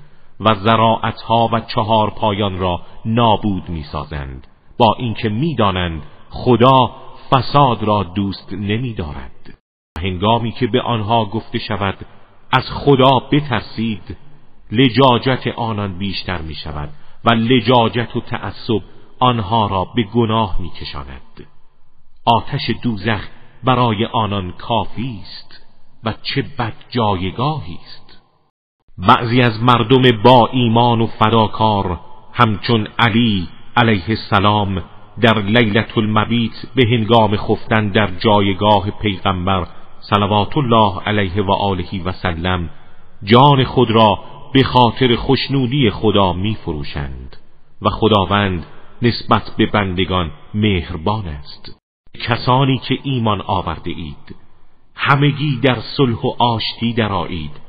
و از گامهای شیطان پیروی نکنید که او دشمن آشکار شماست. و اگر بعد از این همه نشانه های روشن که برای شما آمده است لغزش کردید و گمراه شدید بدانید که خداوند توانا و حکیم است. آیا پیروان فرمان شیطان پس از این همه نشانه ها و برنامه های روشن انتظار دارند که خداوند و فرشتگان در سایه هایی از ابرها به سوی آنان بیایند و دلایل تازه ای در اختیارشان بگذارند با اینکه چنین چیزی محال است و همه چیز انجام شده و همه کارها به سوی خدا بازگردانده می شود از بنی اسرائیل بپرس چه اندازه نشانه های روشن به آنها دادیم؟ و کسی که نعمت خدا را پس از آنکه به سراغش آمد تبدیل کند و در مسیر خلاف به کار گیرد گرفتار عذاب شدید الهی خواهد شد که خداوند سخت کیفر است. زندگی دنیا برای کافران زینت داده شده است. از این رو افراد با ایمان را که گاهی دستشان توهی است مسخره می کنند در حالی که پرهیزگاران در قیامت بالاتر از آنان هستند. و خداوند هر کس را بخواهد بدون حساب روزی می‌دهد. مردم در آغاز یک دسته بودند. خداوند پیامبران را برانگیخت تا مردم را بشارت و بین دهند و کتاب آسمانی که به سوی حق دعوت می کرد با آنها نازل نمود تا در میان مردم در آنچه اختلاف داشتند داوری کند افراد با ایمان در آن اختلاف نکردند. تنها گروهی از کسانی که کتاب را دریافت داشته بودند و نشانه های روشن به آنها رسیده بود به خاطر انحراف از حق و ستمگری در آن اختلاف کردند. خداوند آنهایی را که ایمان آورده بودند به حقیقت آنچه مورد اختلاف بود به فرمان خودش رهبری نمود. و خدا هر کس را بخواهد به راه راست هدایت می کند یا گمان کردید داخل بهشت می شوید بی آنکه حوادثی همچون حوادث گذشتگان به شما برسد؟ همانان که گرفتاری ها و ناراحتی ها به آنها رسید و آنچنان ناراحت شدند که پیامبر و افرادی که با او ایمان آورده بودند گفتند پس یاری خدا کی خواهد آمد؟ در این هنگام تقاضای یاری از او کردند و به آنها گفته شد آگاه باشید یاری خدا نزدیک. تو سؤال می کنند چه چیز انفاق کنند؟ بگو هر خیر و نیکی که انفاق می کنید باید برای پدر و مادر و نزدیکان و یتیمان و مستمندان و درماندگان در راه باشد. و هر کار خیری که انجام دهید خداوند از آن آگاه است. جهاد در راه خدا بر شما مقرر شد در حالی که برایتان ناخوشایند است. چه بسا چیزی را خوش نداشته باشید حالان که خیر شما در آن است. و یا چیزی را دوست داشته باشید حالان که شر شما در آن است و خدا می‌داند و شما نمی‌دانید. تو درباره جنگ کردن در ماه حرام سوال می کنند بگو جنگ در آن گناهی بزرگ است ولی جلوگیری از راه خدا و گرایش مردم به آین حق و کفر ورزیدن نسبت به او و حد که احترام مسجد الحرام و اخراج ساکنان آن نزد خداوند مهمتر از آن است و ایجاد فتنه حتی از قتل بالاتر است. و مشرکان پیوسته با شما می جنگند تا اگر بتوانند شما را از آینتان برگردانند.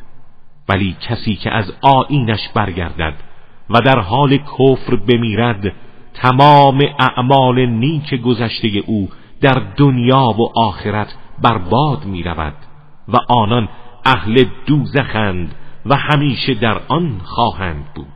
کسانی که ایمان آورده و کسانی که هجرت کرده و در راه خدا جهاد نموده اند آنها امید به رحمت پروردگار دارند و خداوند آمرزنده و مهربان است. درباره شراب و قمار از تو سؤال می کنند.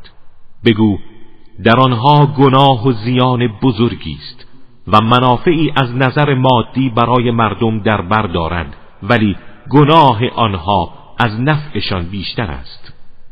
و از تو می‌پرسند چه چیز انفاق کنند؟ بگو از مازاد نیازمندی خود. این چونین خداوند آیات را برای شما روشن می‌سازد. شاید اندیشه کنید. تا اندیشه کنید درباره دنیا و آخرت. و از تو درباره یتیمان سوال می کنند بگو اصلاح کار آنان بهتر است. و اگر زندگی خود را با زندگی آنان بیامیزید مانعی ندارد. آنها برادر دینی شما هستند. و همچون یک برادر با آنها رفتار کنید. خداوند مفسدان را از مسلحان باز می‌شناسد. و اگر خدا بخواهد شما را به زحمت می اندازد و دستور می‌دهد در عین سرپرستی یتیمان زندگی و اموال آنها را به کلی از اموال خود جدا سازید. ولی خداوند چنین نمی کند زیرا او توانا و حکیم است. و با زنان مشرک و بتپرست تا ایمان نیاورده اند ازدواج نکنید. کنیز با ایمان از زن آزاد بتپرست بهتر است. هرچند زیبایی یا ثروت یا موقعیت او شما را به شگفتی آورد. و زنان خود را به ازدواج مردان بتپرست تا ایمان نیاورده اند در نیاورید. یک غلام با ایمان از یک مرد آزاد بتپرست بهتر است. هرچند مال و موقعیت و زیبایی او شما را به شگفتی آورد. آنها دعوت به سوی آتش می کنند و خدا دعوت به بهشت و آمرزش به فرمان خود می نماید و آیات خیش را برای مردم روشن می سازد. شاید متذکر شوند.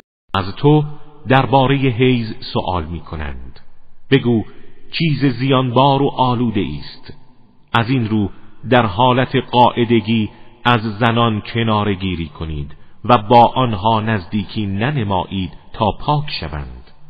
و هنگامی که پاک شدند از طریقی که خدا به شما فرمان داده با آنها آمیزش کنید. خداوند توبه کنندگان را دوست دارد و پاکان را نیز دوست دارد. زنان شما محل بزرفشانی شما هستند. پس هر زمان که بخواهید می توانید با آنها آمیزش کنید. اثر نیکی برای خود از پیش بفرستید و از خدا بپرهیزید و بدانید او را ملاقات خواهید کرد و به مؤمنان بشارت ده. خدا را در معرض سوگندهای خود قرار ندهید.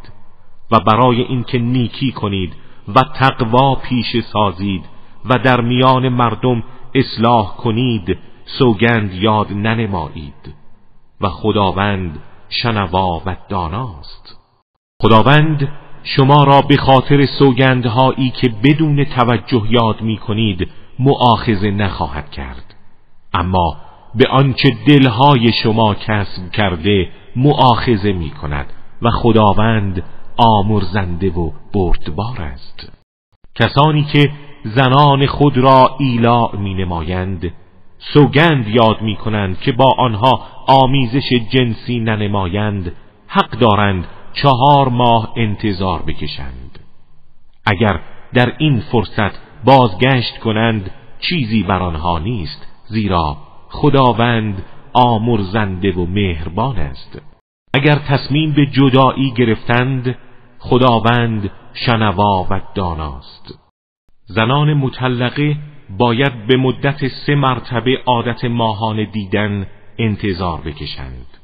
و اگر به خدا و روز رستاخیز ایمان دارند برای آنها حلال نیست که آنچه را خدا در رحمهایشان آفریده کتمان کنند.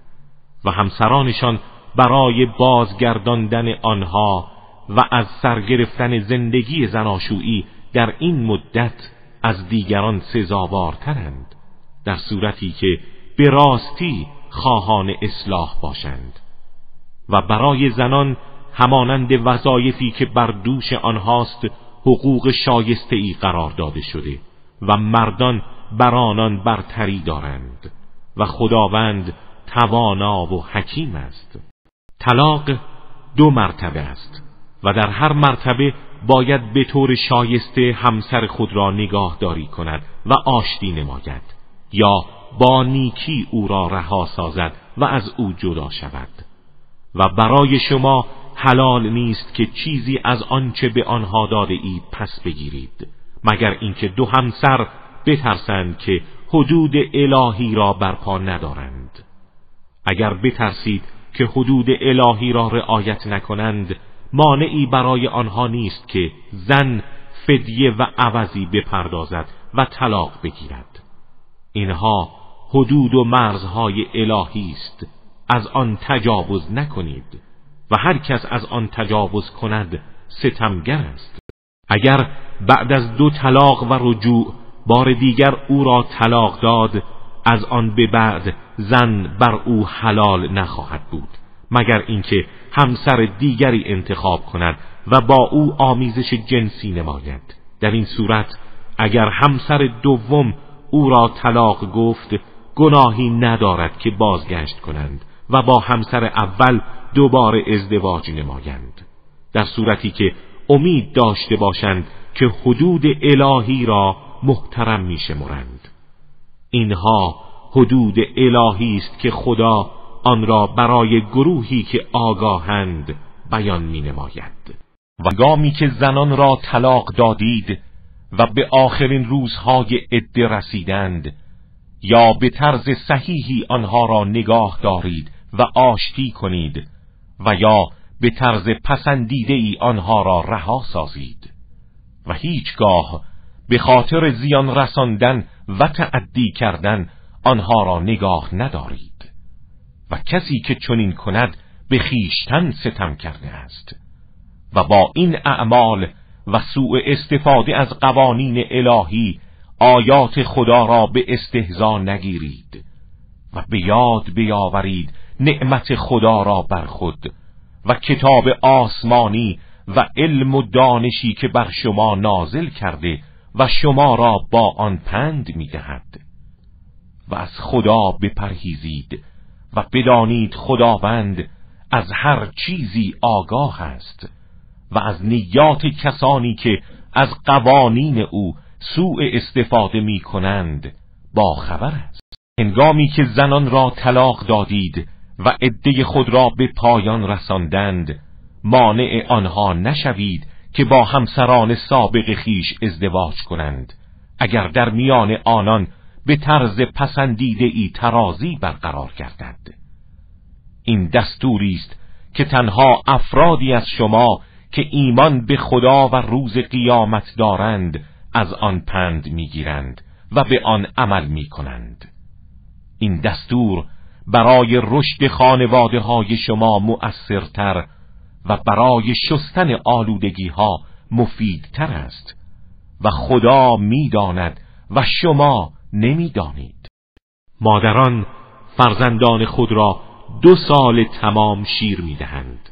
این برای کسی است که بخواهد دوران شیرخارگی را تکمیل کند. و بران کس که فرزند برای او متولد شده لازم است خوراک و پوشاک مادر را به طور شایسته در مدت شیر دادن بپردازد حتی اگر طلاق گرفته باشد. هیچ کس موظف به بیش از مقدار توانایی خود نیست نه مادر به خاطر اختلاف با پدر حق ضرر زدن به کودک را دارد و نه پدر. و بر وارث او نیز لازم است این کار را انجام دهد. و اگر آن دو با رضایت یکدیگر و مشورت بخواهند کودک را زودتر از شیر بازگیرند گناهی بر آنها نیست. و اگر خواستید دایعی برای فرزندان خود بگیرید گناهی بر شما نیست. به شرط اینکه حق گذشته مادر را به طور شایسته بپردازید و از مخالفت فرمان خدا بپرهیزید و بدانید خدا به آنچه انجام می‌دهید بیناست. و کسانی که از شما میمیرند و همسرانی باقی می‌گذارند باید چهار ماه و ده روز انتظار بکشند و عده نگه دارند. و هنگامی که به آخر مدتشان رسیدند گناهی بر شما نیست که هر چه می‌خواهند درباره خودشان به طور شایسته انجام دهند و با مرد دلخواه خود ازدواج کنند. و خدا به آنچه عمل می کنید آگاه است. و گناهی بر شما نیست که به طور کنایه از زنانی که همسرانشان مرده اند خواستگاری کنید و یا در دل تصمیم بر این کار بگیرید بدون اینکه آن را اظهار کنید. خداوند می‌دانست شما به یاد آنها خواهید افتاد ولی پنهانی با آنها قرار زناشویی نگذارید مگر اینکه به طرز پسندیده ای به طور کنایه اظهار کنید. ولی در هر حال اقدام به ازدواج ننمایید تا عده آنها سراید و بدانید خداوند آنچه را در دل دارید می‌داند. از مخالفت او بپرهیزید و بدانید خداوند آمرزنده و بردبار است. اگر زنان را قبل از آمیزش جنسی یا تعیین مهر به عللی طلاق دهید گناهی بر شما نیست. و در این موقع آنها را با هدیه‌ای مناسب بهرهمند سازید.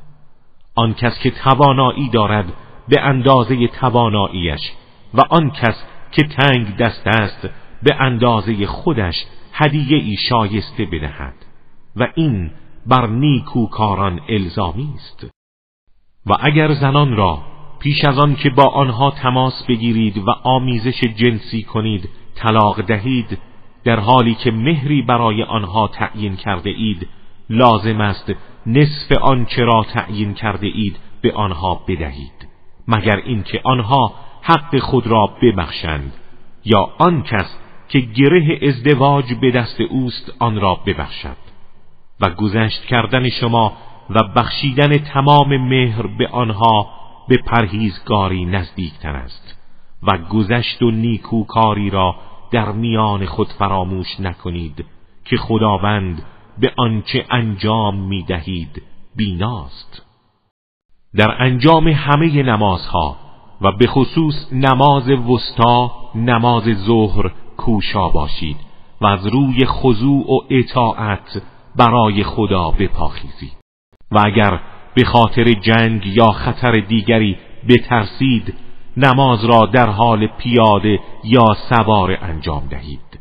اما هنگامی که امنیت خود را بازیافتید خدا را یاد کنید. همان گونه که خداوند چیزهایی را که نمی‌دانستید به شما تعلیم داد. کسانی که از شما در آستانه مرگ قرار می‌گیرند و همسرانی از خود به جا می‌گذارند باید برای همسران خود وصیت کنند که تا یک سال آنها را با پرداختن هزینه زندگی بهرهمند سازند به شرط اینکه آنها از خانه شوهر بیرون نروند و اقدام به ازدواج مجدد نکنند و اگر بیرون روند حقی در هزینه ندارند ولی گناهی بر شما نیست نسبت به آنچه درباره خود به طور شایسته انجام می‌دهند. و خداوند توانا و حکیم است. برای زنان مطلقه هدیه مناسبی لازم است که از طرف شوهر پرداخت گردد.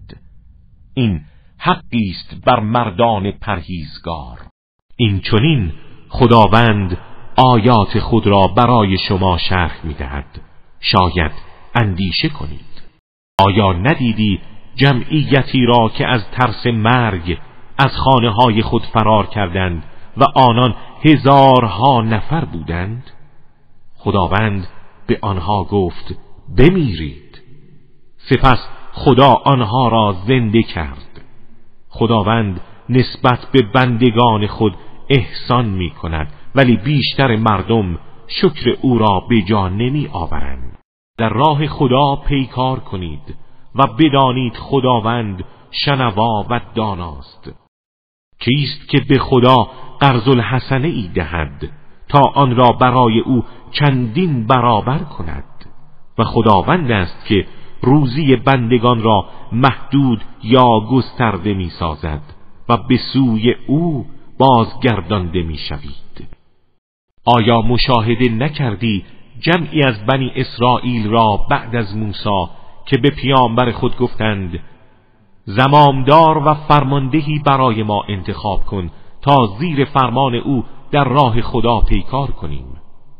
پیامبر آنها گفت شاید اگر دستور پیکار به شما داده شود سرپیچی کنید و در راه خدا جهاد و پیکار نکنید. گفتند چگونه ممکن است در راه خدا پیکار نکنیم؟ در حالی که از خانه ها و فرزندانمان رانده شده ایم. اما هنگامی که دستور پیکار به آنها داده شد جز عده کمی از آنان همه سرپیچی کردند و خداوند از ستمکاران آگاه است. پیامبرشان به آنها گفت خداوند تالوت را برای زمامداری شما مبعوث کرده است. گفتند چگونه او بر ما حکومت کند با اینکه ما از او شایسته تریم و او ثروت زیادی ندارد؟ گفت خدا او را بر شما برگزیده و او را در علم و قدرت جسم وسعت بخشیده است.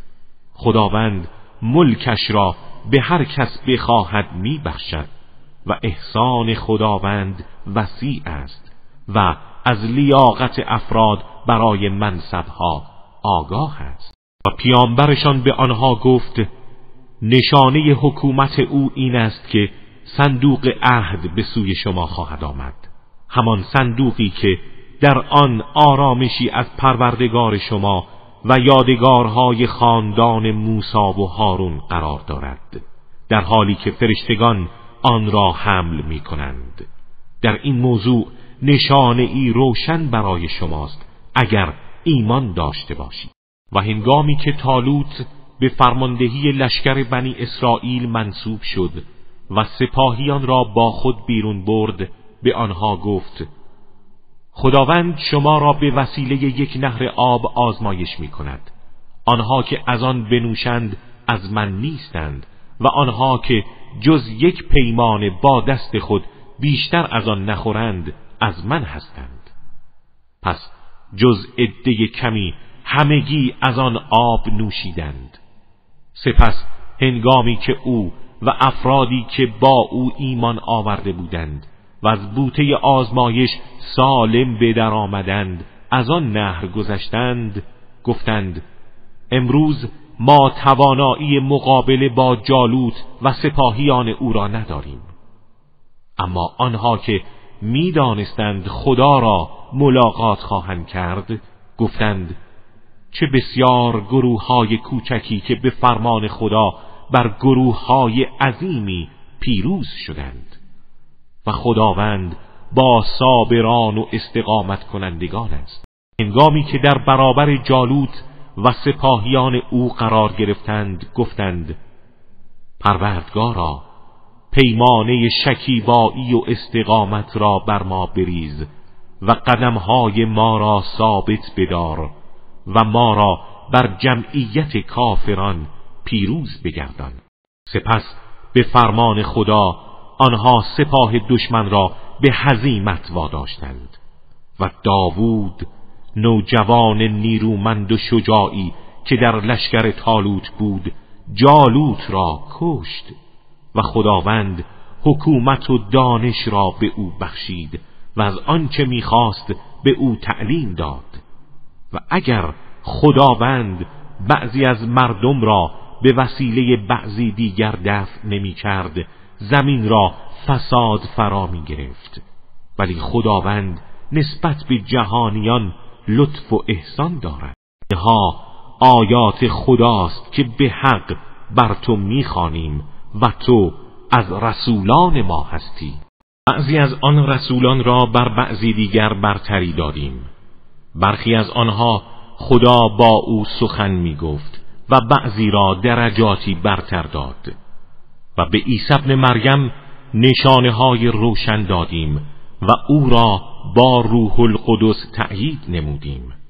و اگر خدا می‌خواست کسانی که بعد از آنها بودند پس از آن همه نشانه های روشن که برای آنها آمد جنگ و ستیز نمی کردند ولی این امتها بودند که با هم اختلاف کردند. بعضی ایمان آوردند و بعضی کافر شدند.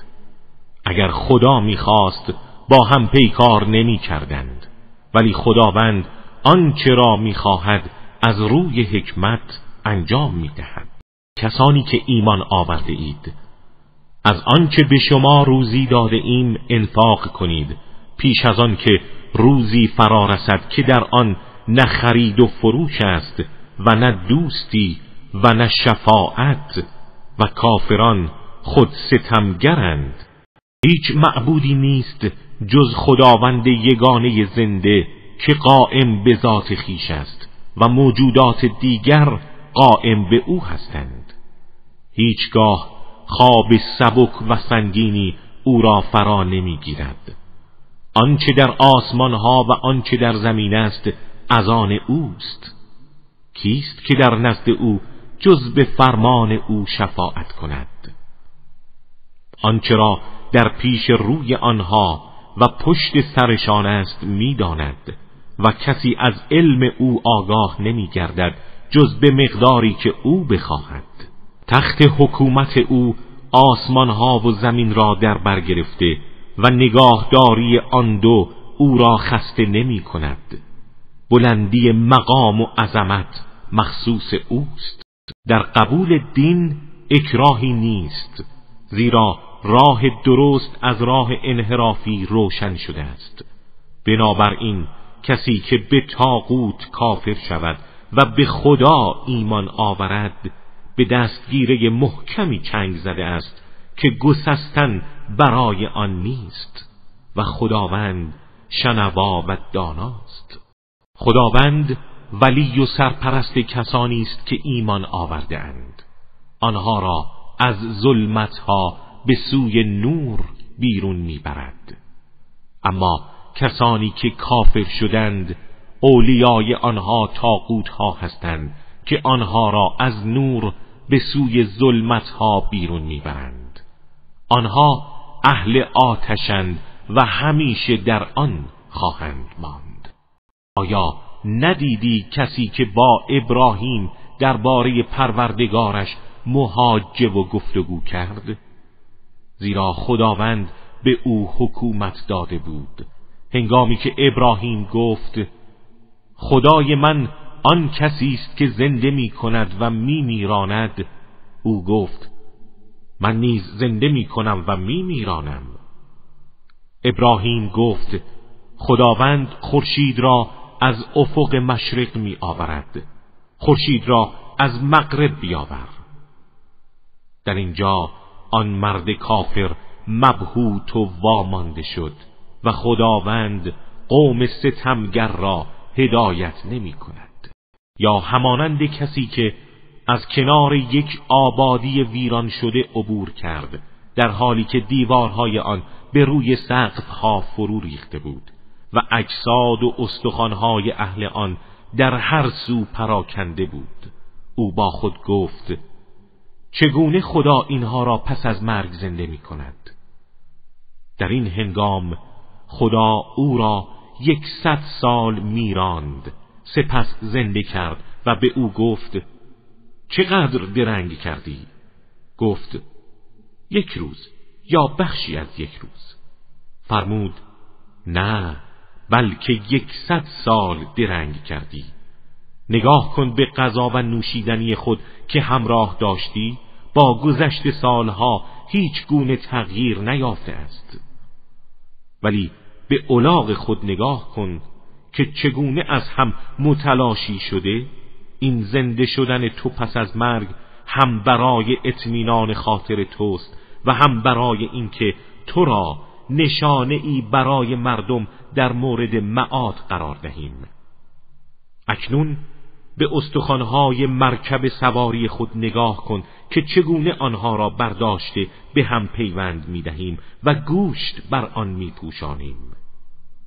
هنگامی که این حقایق بر او آشکار شد گفت می‌دانم خدا بر هر کاری تواناست. و به خاطر بیاور هنگامی را که ابراهیم گفت خدایا به من نشان بده چگونه مردگان را زنده می کنی فرمود مگر ایمان نیاورده ای؟ عرض کرد چرا؟ ولی می‌خواهم قلبم آرامش یابد. فرمود در این صورت چهار نوع از مرغان را انتخاب کن و آنها را پس از ذبح کردن قطع قطع کن و در هم بیامیز.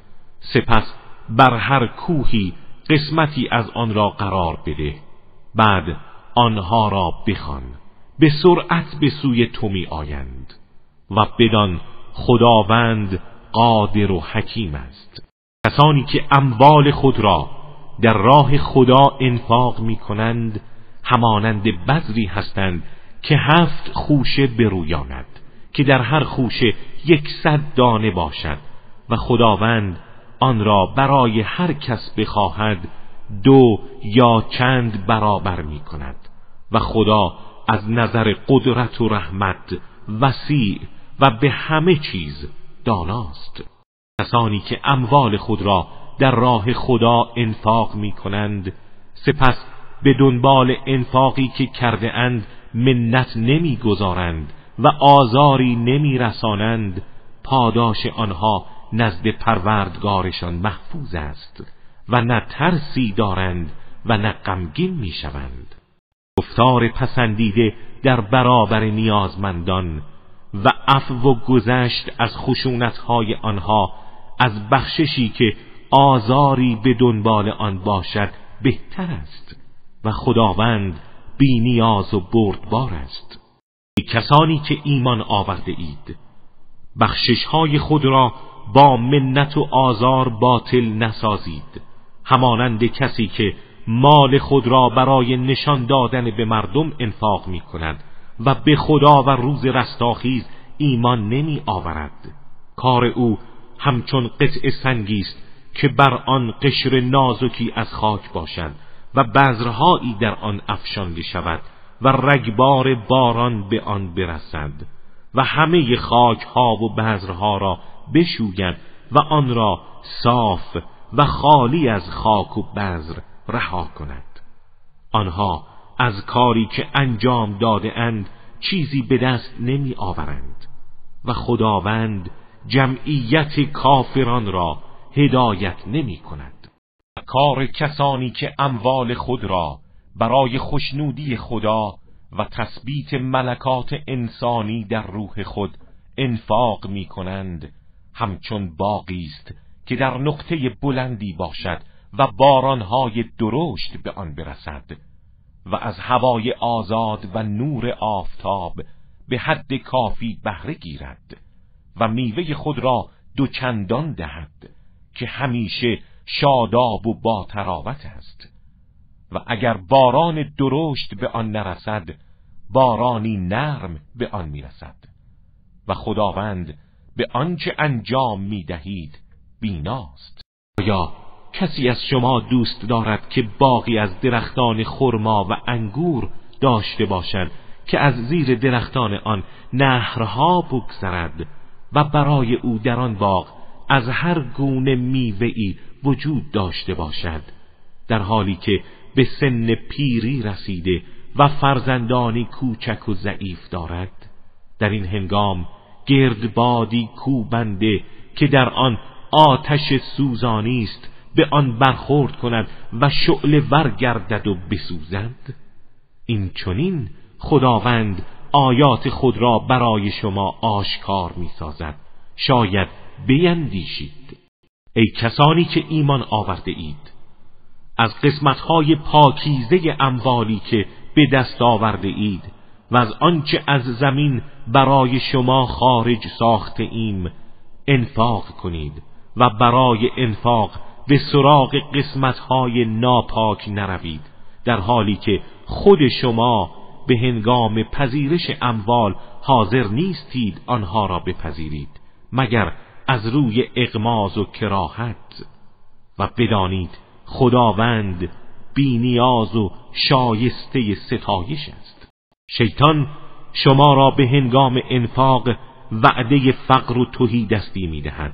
و به فحشا و زشتی ها امر می کند ولی خداوند وعده آمرزش و فزونی به شما می دهد و خداوند قدرتش وسیع و به هر چیز داناست. خدا دانش و حکمت را به هر کس بخواهد و شایسته بداند می‌دهد و به هر کس دانش داده شود خیر فراوانی داده شده است و جز خردمندان متذکر نمیگردند. و هر چیز را که انفاق می کنید یا اموالی را که نظر کرده اید در راه خدا انفاق کنید. خداوند آنها را می‌داند و ستمگران یاوری ندارند. اگر انفاقها را آشکار کنید خوب است. و اگر آنها را مخفی ساخته و به نیازمندان بدهید برای شما بهتر است. و قسمتی از گناهان شما را میپوشاند و خداوند به آنچه انجام می‌دهید آگاه است. هدایت آنها به طور اجبار بر تو نیست ولی خداوند هر که را بخواهد و شایسته بداند هدایت می کند و آنچه را از خوبی ها و اموال انفاق می کنید برای خودتان است ولی جز برای رضای خدا انفاق نکنید و آنچه از خوبی ها انفاق می کنید پاداش آن به طور کامل به شما داده می شود و به شما ستم نخواهد شد. انفاق شما مخصوصا باید برای نیازمندانی باشد که در راه خدا در تنگنا قرار گرفته اند. نمی توانند مسافرتی کنند و سرمایه ای به دست آورند. و از شدت خیشتنداری افراد ناآگاه آنها را بی نیاز می پندارند. اما آنها را از چهره هایشان می شناسی و هرگز با اصرار چیزی از مردم نمی خواهند و هر چیز خوبی در راه خدا انفاق کنید خداوند از آن آگاه است آنها که اموال خود را شب و روز پنهان و آشکار انفاق می کنند مزدشان نزد پروردگارشان است. نه ترسی بر آنهاست و نه غمگین می‌شوند. تانی که ربا می‌خورند در قیامت بر نمیخیزند مگر مانند کسی که بر اثر تماس شیطان دیوانه شده و نمی‌تواند تعادل خود را حفظ کند. گاهی زمین می‌خورد گاهی به پا میخیزد. این به خاطر آن است که گفتند داد و ستد هم مانند رباست و تفاوتی میان آن دو نیست. در حالی که خدا بیع را حلال کرده و ربا را حرام زیرا فرق میان این دو بسیار است. و اگر کسی اندرز الهی به او رسد و از رباخاری خودداری کند سودهایی که در سابق قبل از نزول حکم تحریم به دست آورده مال اوست و این حکم گذشته را شامل نمی گردد و کار او به خدا واگذار می شود و گذشته او را خواهد بخشید. اما کسانی که بازگردند و بار دیگر مرتکب این گناه شوند اهل آتشند و همیشه در آن میمانند. ربا را نابود می کند و صدقات را افزایش می دهد و خداوند هیچ انسان ناسپاس گنهکاری را دوست نمی دارد کسانی که ایمان آوردند و اعمال صالح انجام دادند و نماز را برپا داشتند و زکات را پرداختند اجرشان نزد پروردگارشان است و نه ترسی بر آنهاست و نه غمگین می‌شوند. ای کسانی که ایمان آورده اید از مخالفت فرمان خدا بپرهیزید و آنچه از مطالبات ربا باقی مانده رها کنید اگر ایمان دارید. اگر چنین نمی کنید بدانید خدا و رسولش با شما پیکار خواهند کرد و اگر توبه کنید سرمایه های شما از آن شماست. نه ستم می کنید و نه بر شما ستم وارد می شود اگر بدهکار قدرت پرداخت نداشته باشد او را تا هنگام توانایی مهلت دهید و در صورتی که به راستی قدرت پرداخت را ندارد برای خدا به او ببخشید بهتر است اگر بدانید و از روزی بپرهیزید و بترسید که در آن روز شما را به سوی خدا باز میگردانند. سپس به هر کس آنچه انجام داده به طور کامل باز پس داده می شود و به آنها ستم نخواهد شد. اگر در سفر بودید و نویسنده ای نیافتید گروگان بگیرید. گروگانی که در اختیار طلبکار قرار گیرد.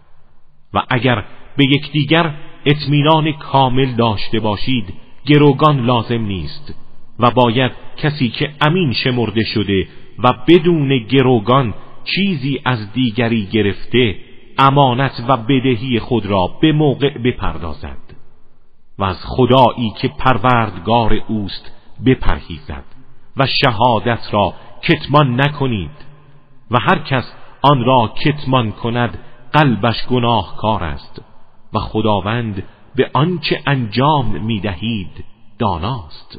آنچه در آسمان ها و زمین است از آن خداست. و از این رو اگر آنچه را در دل دارید آشکار سازید یا پنهان خداوند شما را بر طبق آن محاسبه می کند سپس هر کس را بخواهد و شایستگی داشته باشد می بخشد و هر کس را بخواهد و مستحق باشد مجازات می کند و خداوند به همه چیز قدرت دارد. پیامبر به آنچه از سوی پروردگارش بر او نازل شده ایمان آورده است و همه مؤمنان نیز به خدا و فرشتگان او و کتابها و فرستادگانش ایمان آورده اند و می‌گویند ما در میان هیچ یک از پیامبران او فرق نمی‌گذاریم و به همه ایمان داریم. و مؤمنان گفتند ما شنیدیم و اطاعت کردیم. پروردگارا انتظار آمرزش تو را داریم و بازگشت ما به سوی توست. خواند هیچ کس را جز به اندازه تواناییش تکلیف نمی کند انسان هر کار نیکی را انجام دهد برای خود انجام داده و هر کار بدی کند به زیان خود کرده است. مؤمنان می‌گویند پروردگارا اگر ما فراموش یا خطا کردیم ما را مؤاخذه مکن. پروردگارا تکلیف سنگینی بر ما قرار مده آنچنان که به خاطر گناه و تقیان بر کسانی که پیش از ما بودند قرار دادی. پروردگارا آنچه طاقت تحمل آن را نداریم بر ما مقرر مدار و آثار گناه را از ما بشوی و ما را ببخش و در رحمت خود قرار ده. تو مولا و سرپرست مایی پس ما را بر جمعیت کافران پیروز گردان.